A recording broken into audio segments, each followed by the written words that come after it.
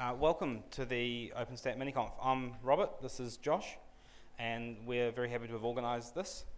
Um, we've got some operational problems. Where is my mouse? There it goes. Right, uh, so this is a PyCon AU MiniConf, which I hope everyone here knows. This is largely for the internets when this goes online. Um, the URL there is going to be important because there's a whole bunch of stuff as a mini conf that we just depend on the main conf to give us. So PyCon AU, uh, sorry, 2015.pycon-au.org.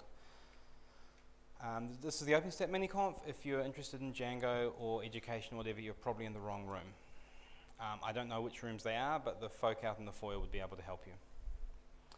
I want to thank our sponsors. So this mini-conf is sponsored by the OpenStack Foundation.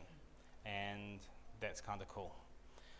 And lunchtimes are sponsored by, sorry, not lunchtimes, tea time and afternoon tea is sponsored by HP uh, today and other sponsors on the other days, but the main conference will be doing their things for that. Uh, there is a code of conduct for this conference. If you are a speaker or just an, a delegate, please have a look at that. It's important that we help our community grow, and the codes of conduct have been sort of gaining quite a bit of traction over the last number of years as a, a good, solid and straightforward way to do that. Um, morning tea, they're in the Connaught and King George rooms. If there are sessions running, we don't, if other rooms are running late, and you don't want to overlap them, you can go down to the foyer, go to the other lifts, and then back up again, and you can get to them. Um, if the other sessions have finished, you can cut through the Kennedy and Roosevelt rooms to get to the morning tea area. Uh, I'd give you a map, but I have no idea which way around the building is, let alone anything else, so it wouldn't be very helpful. But there are maps in the foyer.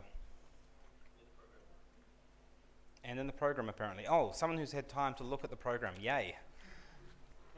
Uh, lightning talks. We have lightning talks at the end of the day, and to have a whole bunch of good lightning talks depends on you guys to put them together.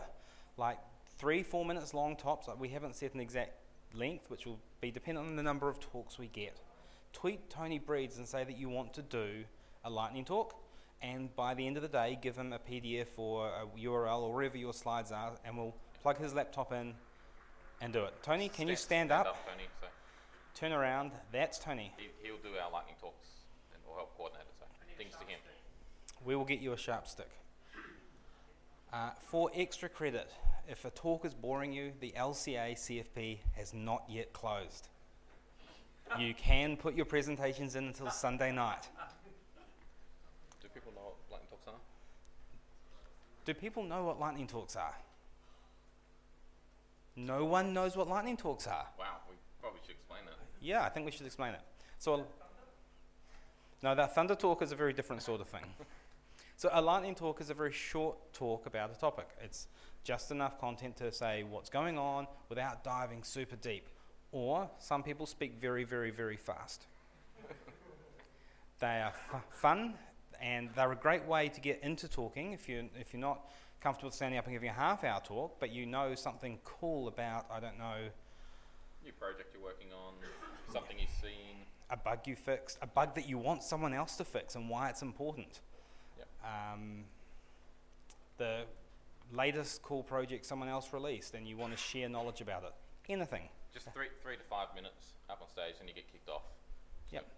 Um, you don't even have to do slides. We often see people just stand up and say X, Y, Z, A, B, C, D, E, F, and hop off again. So very low key. Tweet Tony Breeds, and you'll be fine. Uh, if it's a, you know, a functional Python program as well, that would be great.